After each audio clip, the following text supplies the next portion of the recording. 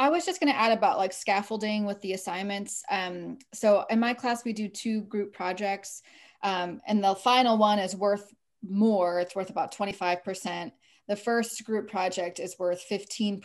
So there's a bit of scaffolding there. But the, the thing I'm going to add this time is um, because they have to, usually they just do group presentations in the class. This time they have to present as a group online in Zoom, record it, upload it to Brightspace, which is potentially a new thing that they've never done before. So I'm going to have them do a, just a no stakes, just for completion a small demo where they do an activity um, and they have to present as a group online and then upload it just to get them that sort of practice and comfort level with that format. So that's one new thing I'm doing for this um, online class. And then I think just the other part um, is um, for for group projects, uh, if you want to reduce social loafing, it's best to have a, um, a group grade component and an individual component. Um, so they just don't have to rest on the laurels of their group members. Each individual still has to contribute something to the class. So I, I still build that into my class. It involves, like Corbette, a a reflection on each group member and their contributions. They'll reflect on their,